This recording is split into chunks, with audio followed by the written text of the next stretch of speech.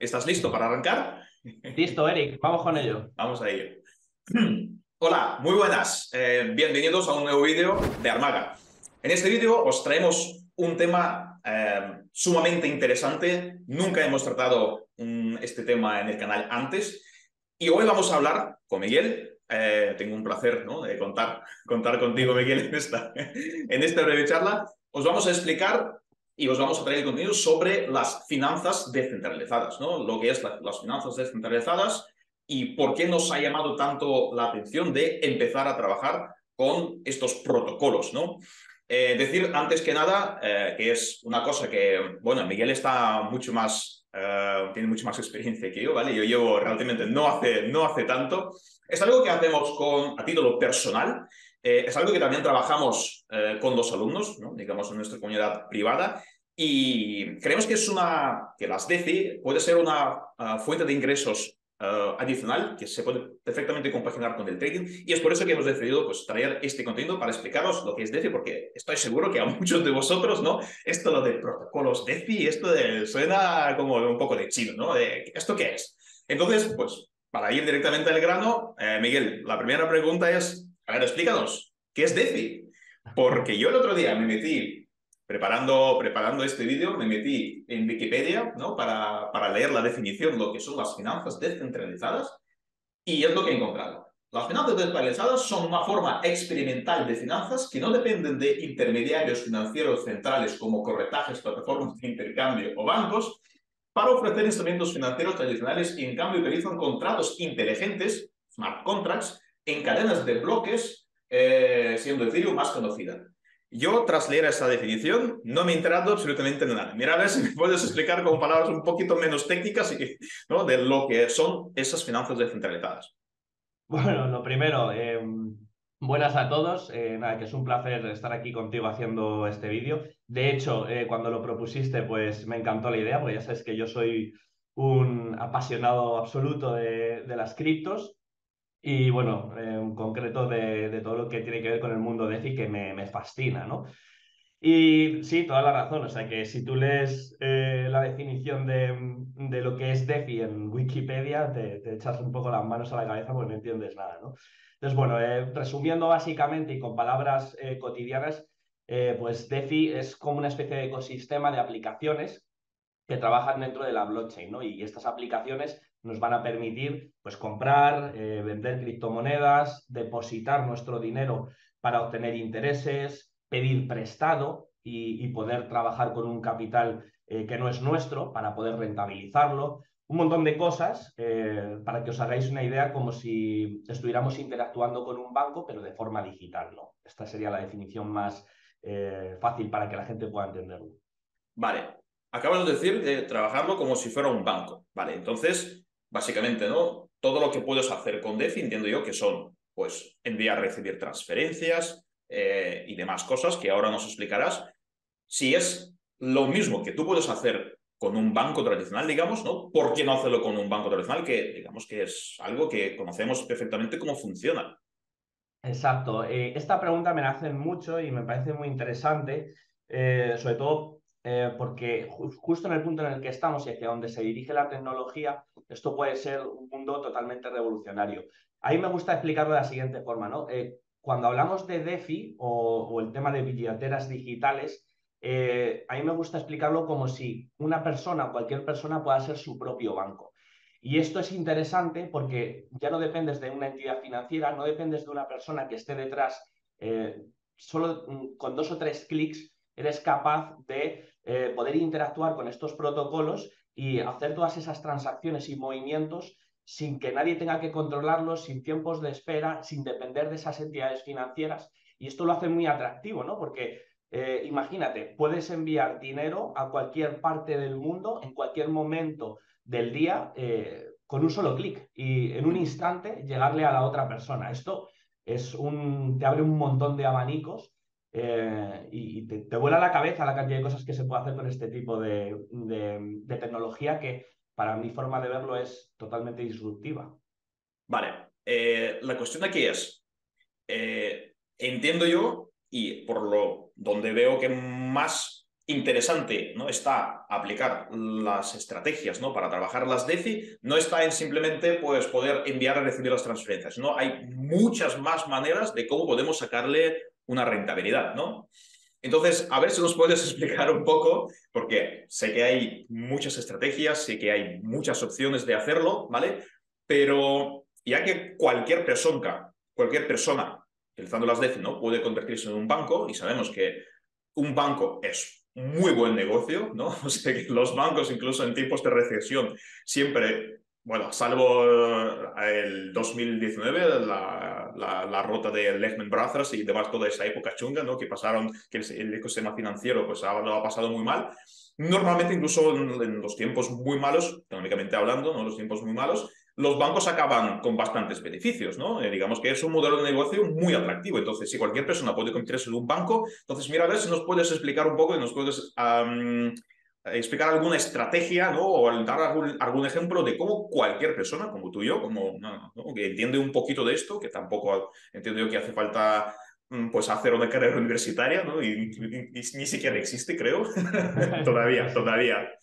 Eh, si nos puedes dar algún ejemplo de, de cómo, ¿no? de cómo una persona ¿no? puede empezar a trabajar con las DeFi, las rentabilidades que, que podemos obtener eh, y ¿no? dar algún ejemplo de algún, a lo mejor, protocolo. Sí, eh, esta parte me parece muy interesante. Eh, y como tú bien dices, o sea, que no hace falta estudiar ningún máster ni ninguna carrera. Y a mí, de hecho, me gusta hacerlo fácil. De hecho, todas las estrategias que, mm, que utilizo eh, desde que invierto en DeFi se resumen en, tres estrategias que luego entre ellas se pueden combinar y, y podemos exprimir o, por así decirlo, eh, maximizar los rendimientos. ¿no? Y estas tres estrategias, eh, para hacerlo fácil, sobre todo para la gente que, mm, que, es la primera vez que escucha hablar sobre DeFi y que pueda entenderlo, se resumen básicamente. la primera estrategia, bloquear nuestras criptomonedas, ¿vale? Y a, la hora de bloquearlas en un protocolo de estos, quiere decir que somos proveedores de liquidez, imagínate, ¿no? Eh, somos nuestro propio banco y decidimos prestar nuestro dinero para que otros se puedan beneficiar de ello. Bueno, pues con esto ya estamos obteniendo un rendimiento, ¿vale? Nos van a pagar un rendimiento por, por hacerlo. Y esto básicamente es interesante pues porque los bancos tradicionales podemos hacerlo, los plazos fijos de interés que nos puede pagar cualquier banco eh, bueno, pues están ahí y, siempre han estado, pero es que no, no, nos pagan ni un 1%, un 2% el banco que más, ¿no? Entonces no, no es negocio.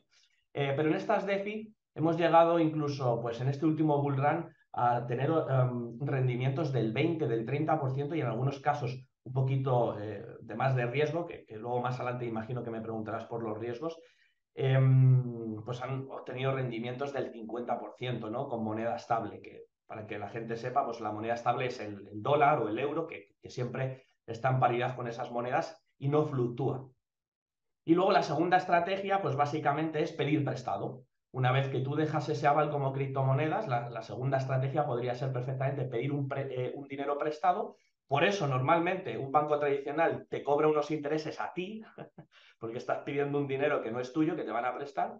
Pero en estos casos, muchos de estos protocolos, encima, nos van a premiar eh, pagándonos dinero por, por, pedir prestado. Esto no le entra en la cabeza a mucha gente y dice, ¿qué, ¿qué, me estás diciendo, Miguel? O sea, que pides dinero y encima te van a pagar.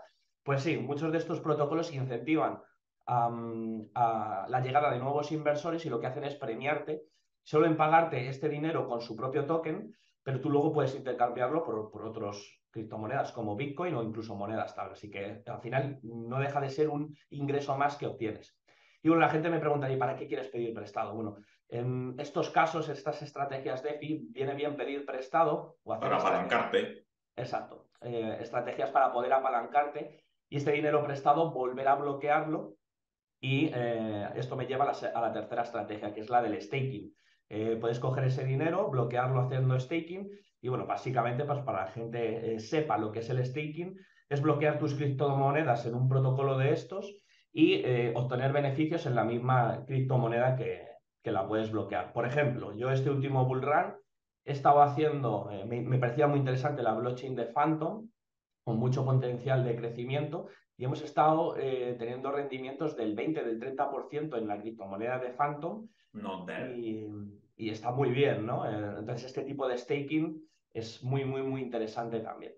para que la gente entienda lo que es staking, ¿vale? Y cuál es la diferencia entre el primer ejemplo y el tercero que ha puesto, que ha explicado Miguel, es que en el ejemplo número uno, tú cobras interés, ¿no? Por, por dejar tu dinero que lo usen otros usuarios, ¿no? Es como si fuera tú prestar dinero a otra persona, ¿no? En este ecosistema descentralizado de las finanzas mm, del que estamos hablando, ¿no? Que es eh, la función que al día de hoy cumplen los bancos tradicionales. ¿no? Si yo quiero pedir un préstamo, voy al banco ¿no? para, para comprar una hipoteca o un préstamo a título personal, bueno, pues pago un interés ¿no? y eh, este interés lo cobra el banco. En este caso, si nosotros prestamos el dinero, entonces este interés lo cobramos nosotros, ¿no? Y la gente pues utiliza el dinero para, para, para, para lo que quiera. Y el tercer ejemplo es el ejemplo de hacer staking, la tecnología blockchain funciona de tal manera que para convalidar las transacciones, nosotros si dejamos bloqueados nuestro Ethereum o nuestro Bitcoin, por ejemplo, entonces ayudamos a validar las transacciones ¿no? de esta, dentro de lo que es el blockchain. Entonces, como ayudamos a validar las transacciones, también recibimos ¿no? un interés a cambio, o sea que cobramos una pequeña comisión por cada transacción validada. Entonces, eso interesa también si nosotros tenemos pues algún Ethereum, algún Bitcoin, alguna criptomoneda, pues dejarla en el staking porque de esta manera pues rentabilizamos nuestra inversión. Y además, además, cosa que no ocurre en el mercado de las finanzas eh, tradicionales es que nosotros podemos también beneficiarnos de la revalorización de la moneda a la que dejamos en el staking. ¿no? Si, por ejemplo, compramos Bitcoin a 16.000, que es lo que cuesta más o menos al día de hoy, ¿no? lo dejamos en el staking, recibimos de manera pasiva los intereses, mientras que, lo, mientras que estamos ayudando ¿no? a validar las transacciones dentro de, de la red de, de blockchain, de, dentro de la red de, mm, Bitcoin. Y eh, al mismo tiempo, pues si el Bitcoin esté en este, de aquí a unos meses sube a 20.000, 25.000, 30.000, no sé, vuelve al último all-time high, 60 y pico mil, pues oye, estamos cobrando intereses más, ¿no? La moneda como se ha revalorizado, pues entonces nos ha dado un beneficio adicional. Vale, em, perfecto. Eh, seguimos. bien, los riesgos. Es un punto importante. Hemos hablado ¿no? de eh, cómo podemos obtener rendimientos ¿no? de nuestro capital, haciendo staking, dejando, depositando nuestro dinero o combinando esas estrategias por si queremos montar una estrategia ¿no? con una rentabilidad más interesante.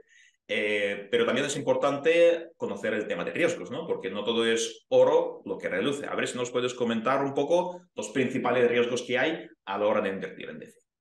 Sí, esta parte es muy interesante y me gusta, bueno, siempre va ligada con el tema de los beneficios, ¿no? Eh, la gente asocia ganar mucho requiere o, Sin arriesgar nada, y esto no existe. Sin arriesgar nada es como, no, no puede ser, ¿no? Hay algo falla, ¿no? Dentro de... O sea, porque toda inversión siempre eh, lleva intrínseca em, una, un riesgo, ¿no?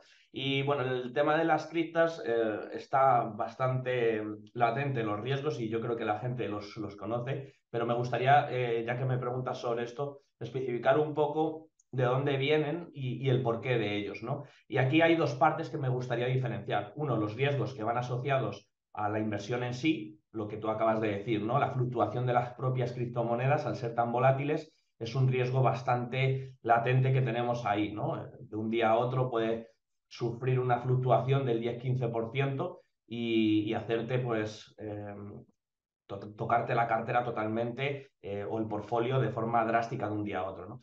Y luego las, los riesgos que van asociados un poco mm, en dirección a lo que es la propia tecnología y las vulnerabilidades que se han ido encontrando eh, una vez que se desarrolla la blockchain y todos estos em, protocolos que trabajan dentro de ella. ¿no? Em, los más famosos em, riesgos eh, y, que han sido más bien robos de criptomonedas vienen detrás de los rug por ejemplo, que ha habido un montón de rug en la red de, de Binance eh, en este último bull run. Yo eh, he visto con mis propios ojos cosas que son totalmente eh, pues de locos, ¿no? Y básicamente los rug pool vienen a decir, pues alguien que crea un protocolo de estos para, para poder trabajar sobre una blockchain y resulta que como tienen acceso a todos los fondos de los inversores a través de, de, pues de, las, de las llaves privadas donde se depositan todos estos fondos, pues al tener acceso a ellos se van con todo el dinero de los inversores, ¿no? Y esto ha ocurrido, eh, como digo, en este último bull run en muchos protocolos. Por eso, no todos los protocolos son de fiar. Hay muchas formas de medir cuáles son los buenos y cuáles eh, se puede asumir algún riesgo, pero este ha sido uno de los riesgos que más me, el tema de cómo valorar los protocolos podría perfectamente dar para otro vídeo más porque es un tema muy extenso. ¿eh?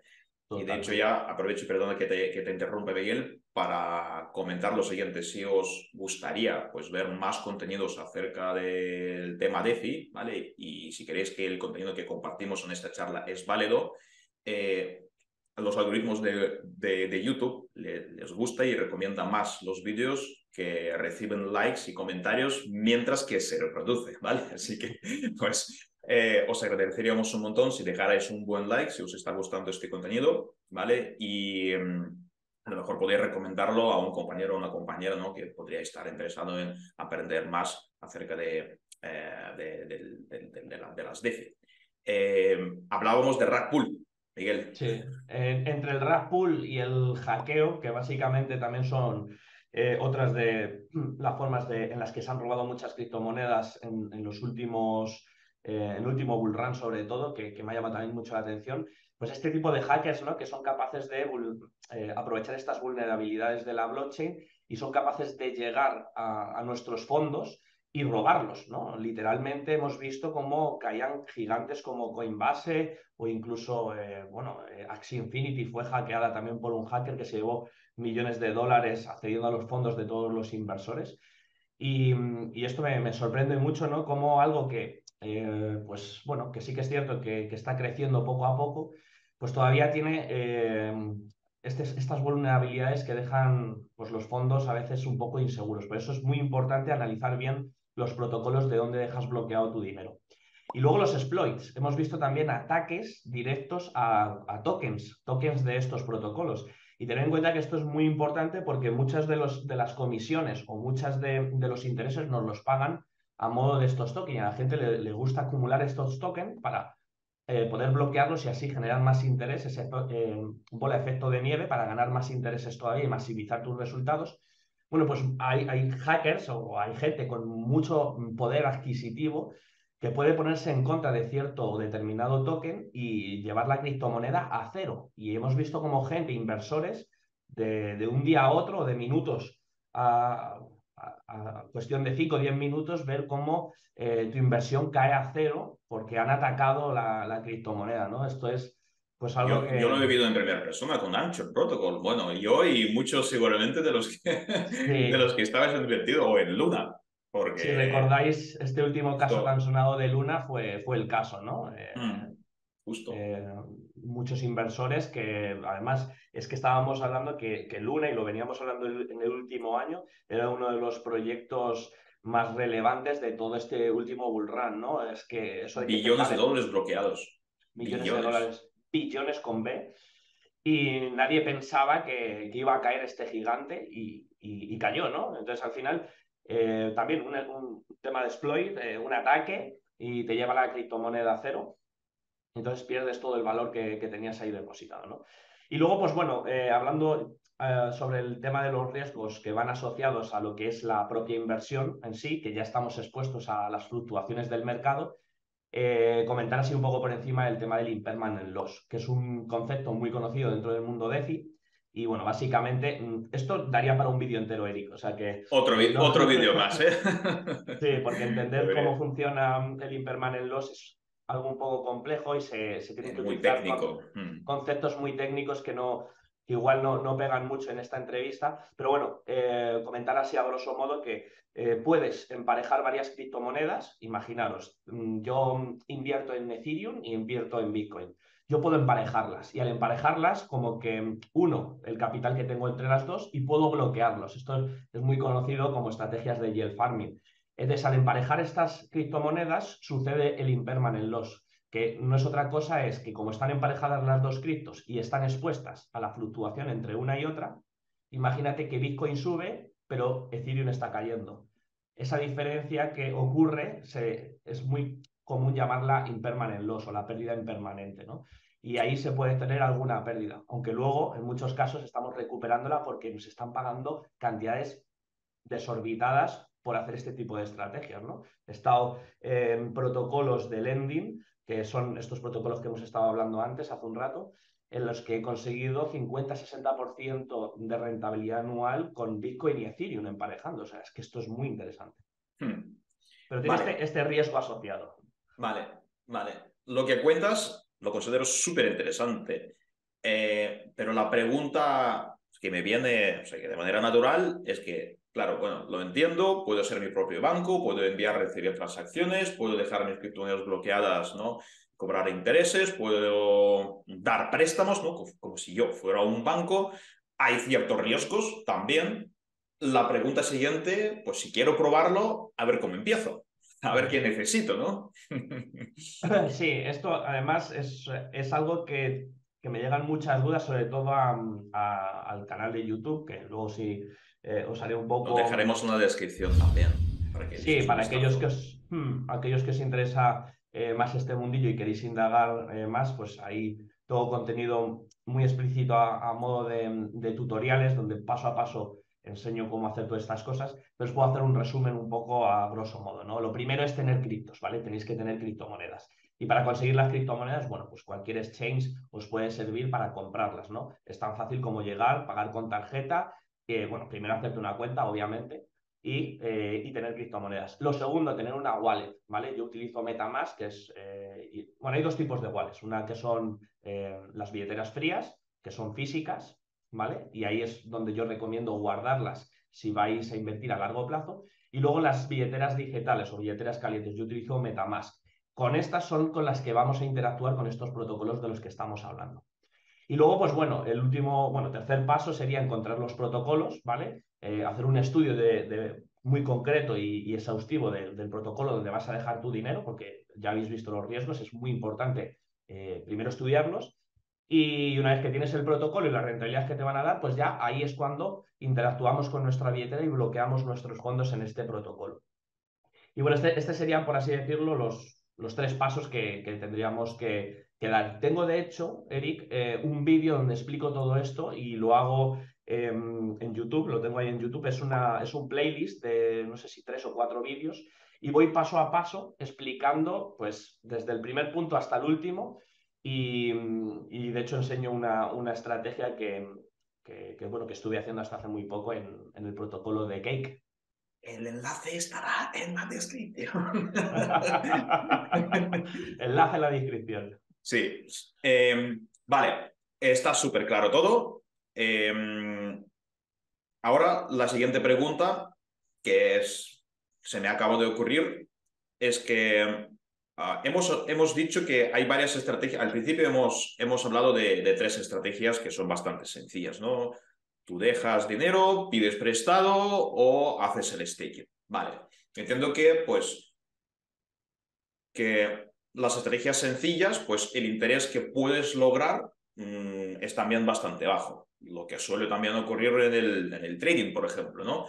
Mm, aunque no es del todo cierto, ¿no? Que cuanto más compleja sea la estrategia, pero bueno, normalmente lo que yo he aprendido a lo largo de estos años que llevo haciendo trading es que Ah, para llegar a rentabilidades realmente interesantes, pues tienes que, tienes que estudiar, ¿no? O sea, que cualquiera podría operar cruce de media móviles, lo que pasa que la rentabilidad, ¿no? Si, si es que la acabas, eh, si, la acabas teniendo, realmente, mm, no sé, a mí mm, me parece que a priori, ¿no? Eh, va a ser muy poquita, si la habrá. Entonces, las estrategias eh, al día de hoy, donde hay edge, ¿no? Donde puedes ganar cierta ventaja operando en los mercados, ¿no? en comparación con otros operadores, eh, son estrategias que no suelen estar en la superficie. Quiero decir que a lo mejor si te conformas con un 2, un 3, un 5%, pues está bien, ¿vale? También comentabas que hay protocolos, ¿no? Que hay, a veces hay protocolos, dependiendo un poco de la época, ¿no? Que pueden pagar hasta 50 o hasta 70% por dejar tu moneda estable, por ejemplo. Eh, pero yo entiendo que en las DeFi ocurre lo mismo, que por si quieres Uh, más, ganar más rentabilidad, más intereses, pues tienes que montar una estrategia a lo mejor un poquito más compleja. Esto es lo que suele ocurrir, que no soy, si estoy en lo cierto. En caso de que sí, uh, ¿nos podrías pues, pues, dar algún ejemplo de alguna estrategia, yo qué sé, pues un poquito más avanzada? Porque seguramente que será una de las, una de las preguntas que nos dejará la gente abajo aquí en los comentarios. Sí, totalmente cierto lo que comentas, ¿no? Básicamente, eh, que todo se reduce así, ¿no? La gente queremos todo fácil, rápido y... Claro, le das dos clics y 100% anual sin hacer nada. Exacto. ¿Dónde firmo? Eh? Pero desgraciadamente esto no funciona así. Y es bueno que no funcione así, ¿no? Porque si no todo el mundo... Hombre, yo creo que sí. O sea, que el dinero no es gratis al día de hoy, tienes que currártelo. O sea, que esa mentalidad yo creo que es muy errónea, ¿no? De que, oye, pues, pues sin estudiar nada, sin, sin, haberme esforzado nada, pues de repente empezar a ganar rentabilidades de doble dígitos. No, hombre. No puede ser. Y bueno, eh, puedo explicar así a bote pronto una estrategia que, que como he dicho antes, eh, no, no me gusta complicar las estrategias tampoco, pero que la gente va a entender muy bien y básicamente es hacer un, un ciclo dentro de las tres estrategias que he explicado al principio, ¿no? Y eh, hago un, breve resumen de cuáles serán. La primera era bloquear tu dinero en un protocolo de lending o un protocolo de, de estos en los que eh, podemos obtener un interés por dejarlo ahí bloqueado y que la gente pues, tenga disponibilidad para poder pedir prestado. Ahí ya vamos a tener un, un rendimiento. La segunda estrategia era pedir prestado, dejando ese dinero en colateral, podemos pedir prestado hasta un 80% de lo que hemos dejado eh, ahí bloqueado. Esto lleva un pequeño riesgo, que es el riesgo de liquidación, ¿vale? Podemos pedir un 80% eh, de todo el capital, pero recordar que si el capital lo hemos depositado en Bitcoin y Bitcoin cae, eh, podemos ser liquidados por el, por el protocolo. Es, es un riesgo que es, es evidente, ¿no? Em, que también hay estrategias para mantener siempre ese riesgo controlado. Eh, luego, pedir prestado, que ya estamos también obteniendo un interés. Ya hemos comentado antes que por pedir prestado en muchos de estos protocolos también te pagan. Y luego, con ese dinero que hemos pedido prestado para poder apalancarnos, eh, podemos bloquearlo a modo de staking o de yield farming, eh, haciendo estrategias de yield farming en otro protocolo totalmente distinto. Entonces, bueno, estamos combinando las tres estrategias en tres. A lo mejor puede ser, no tiene por qué ser en el mismo protocolo, puede ser tres protocolos distintos y obteniendo eh, un porcentaje de interés en cada protocolo. ¿Cuál sería la estrategia? Pues bueno, de todo el capital que vamos a obtener eh, rentabilidad, coger todo ese monto todos los meses y volver a hacer este proceso que acabo de explicar. Todo ese monto que hemos generado lo volvemos a, a colocar en este protocolo de lending, volvemos a pedir prestado, volvemos a poder en staking y de esta forma generamos el interés del interés o más comúnmente eh, hablado como el interés compuesto, ¿no? Esa bola de nieve, bola de efecto de nieve, que va multiplicando nuestros ahorros, ¿no? Y esta sería la estrategia que más me gusta. De hecho, tengo un tutorial también en el canal donde explico paso a paso y con los protocolos más eh, seguros eh, desde mi punto de vista y desde mi, análisis, que son los de AVE o incluso algún protocolo de, lending dentro de Phantom. Y ya te digo, está explicado paso a paso en este, en este vídeo por si alguien pues le pica la curiosidad y quiere saber un poco más a fondo cómo se interactúa con la billetera, cómo, eh, qué porcentajes estaban pagando en ese, en ese entonces, porque también digo, eh, en estos momentos en el que todo está cayendo tanto, los, los intereses a día de hoy han, han, bajado bastante, pero esto es normal, ¿no? Estamos viviendo una época bastante complicada a nivel eh, macroeconómico, ¿no? Sí, y, esto, lo que acabas de decir, ¿no? de la época tan complicada en la que estamos ahora, mm, me hizo recordar eh, un concepto que yo aplico en muchas áreas de, mi vida, no solamente en las inversiones, ¿no? de que es ir en contracorriente. Es decir, ¿cuándo es ¿no? la mejor manera de, de, comprar? ¿no? Cuando hay pánico, cuando hay mucho miedo en el mercado, ¿no? y cuando es el mejor momento de vender ¿no? tus, tus, tus inversiones, ¿no? tus tokens. Es cuando hay euforia, ¿no? cuando todo el mundo está eh, deseando comprar, ¿no? Cuando los precios están por las nubes. Entonces, yo creo que eh, sacar, bueno, hacer este vídeo ahora en el canal, ¿no? Empezar a hablar de las estrategias de FIS, eh, pues dará sus frutos, ¿no? A lo mejor no de manera inmediata, no a lo mejor no mañana, pero la gente que, ah, que le ha picado la curiosidad, ¿no? De investigar un poquito más sobre esas tres estrategias básicas que hemos comentado, ¿no? De a lo mejor leer y, mm, invertir un poco de tiempo de estudiar los riesgos que también hemos comentado, ¿no? De a lo mejor, si no tenéis todavía billetera o no tenéis una cuenta en Exchange, pues crear, ¿no? Y probar cómo funciona Metamask o cualquier otra billetera, sea física o caliente. Eh, pues yo creo que estáis ahora en, el, en uno de los mejores momentos, ¿no? Porque la industria de las DeFi, de las criptomonedas, al dedo está mucho más madura que lo era hace dos, tres, cinco años, ¿no? Eh, de hecho, es una de las razones por las que yo personalmente mm, decidí pues, invertir, porque pues, estaba dando seguimiento a este mercado, ¿vale? Eh, pero seguía con mi operativa, con los futuros, donde hay regulación, donde todo es transparente, donde mi dinero está seguro, ¿vale? Pero pues al final pues, he decidido lanzarme a la piscina y eh, e-, era una de las razones de por qué hemos decidido pues, traer este contenido en el canal. Y de hecho, uh, Miguel era una de las personas que, que me animó, ¿no? de, de, darle paso y empezar a investigar, porque yo soy la persona, bueno, que era bastante escéptica. Digo, esto de criptomonedas, esto es una estafa, tiranidad, no sé qué. Yo, yo, yo era así. Pero, hostia, cuando te metes y ves lo que hay dentro y ves cómo ha crecido y cómo ha madurado, lo que he dicho antes, dices, hostia, hostia, esto no me lo esperaba yo, ¿eh? O sea, que yo pensaba que esto todavía... No, no, no, o sea, que ahí, ahí, está, está muy interesante, ¿vale? Y nos gustaría, pues, uh, compartir con vosotros una pequeña parte de, bueno, una, hacer una charla introductoria, ¿vale? Para que podáis leer e investigar un, po un poquito más por vuestra cuenta. Si os ha gustado ese contenido, repito, nos podéis regalar un buen like, ¿vale? Si os gustaría que hablásemos eh, de algún tema en concreto en algún próximo vídeo, eh, saber en los comentarios, ¿vale? Dejad si os ha gustado este contenido o no. Y nada, eh, Miguel, muchísimas gracias por conectarte, compartir conmigo este rato, ¿vale? Hablar de, de las DeFi. Hace tiempo que, que pensábamos, ¿no? Que, que, queríamos hacer este contenido y siempre, pues, surgía algún imprevisto. Pero bueno. Sí. Nada, gracias a ti, Eric. La verdad es que hablar de criptomonedas y de DeFi es, es fácil convencerme. O sea, Totalmente. es un mundo que me encanta, así que Totalmente. nada, ha sido un placer estar con vosotros aquí. Y vale. nada, estaré también muy pendiente de los comentarios, así que animo a la gente que comente y que ponga sus dudas abajo en el vídeo porque me voy a meter, Eric, me voy a meter a ver lo que opina la gente y estaré vale. encantado de contestarles si tienen dudas. Muy bien. Pues nada, uh, muchísimas gracias. Eh, nos vemos en un próximo contenido y que tengáis un gran día. Un saludo. Antes de cerrar el vídeo, hacer un breve resumen de todo lo que hemos visto y lo que hemos aprendido en esta charla con Miguel. Antes que nada, entender que las finanzas descentralizadas, por a lo mejor muy complejo que puede parecer ¿no? este concepto, es un ecosistema de aplicaciones en blockchain que literalmente permite a cualquier usuario convertirse en un banco. Y ya sabemos que el negocio de los bancos pues, es un negocio muy interesante, sobre todo pues, por, por, por, por, la rentabilidad ¿no? que, que tiene. Entonces, eh, si nosotros ¿no? quisiéramos pues, participar en este ecosistema, debemos saber dos cosas. Primero, las operaciones que podemos realizar eh, dentro de las DeFi, básicamente son tres. Son más, pero en este vídeo, para empezar, hemos tratado tres.